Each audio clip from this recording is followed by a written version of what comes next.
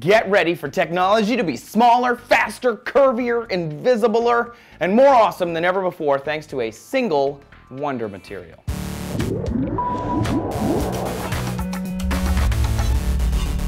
Hey everybody, Trace here for D News. Technology nuts have been drooling over graphene since its discovery in 2004, and the number of things this so-called wonder material can do is growing really fast. If you're not familiar, graphene is a transparent two-dimensional sheet of carbon atoms. It's the strongest material known to man and could be used to make better batteries, medical scanners, bulletproof vests, spacecrafts, planes, trains, automobiles, computers, transistors, nanomaterials, medical sensors, DNA sequencers, so many things. Graphene is poised to revolutionize pretty much everything. You know when you blow up a balloon and over the next few days it slowly loses air? That's because rubber is semi-permeable, it gets all shriveled and gross. A lot of things are semi-permeable. Air molecules can move through plastic bottles, which is why beer is still in glass. But graphene is here to make everything better.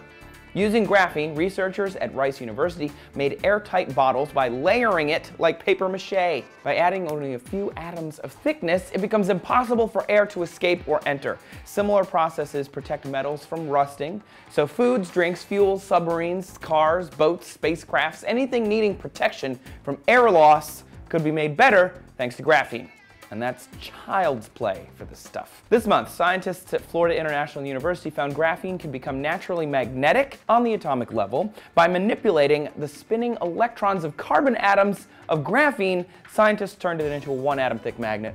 Data storage, anyone? Only a few weeks ago, scientists created the cleanest graphene ever by sandwiching graphene between two layers of one atom thick boron nitride. Normally, scientists contaminate the graphene with their sticky tools to manipulate it around, but now we have cleared yet another hurdle on the way to graphene computer chips. Super fast, super small computers, anybody? Check. In another study published in Nature Communications, researchers are slowly improving the ability of graphene to interface with the human body directly. By grafting graphene onto cells, researchers can sense functions and maybe someday our health directly with nanobots and graphene sensors. Experts think we might have real bio applications by like 2030. But that's not all. Now it's time for the cool bomb.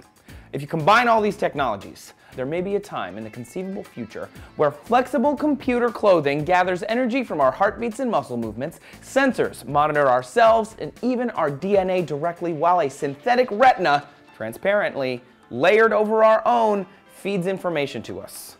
Not to mention functions we haven't even thought of yet. The problem with graphene, though, has been the difficulty to manufacture it. For example, in computing, it's cheaper to make two powerful silicon chips than to even make a single tiny strip of graphene. It's an amazing material to use, but a really difficult one to produce reliably. So if you're interested in being a materials engineer, get your degree and find a way to make us more graphene, please. Do technological advancements like this make you worry that we're destined to like become the Borg? Tell us down below in the comments and subscribe for more D News.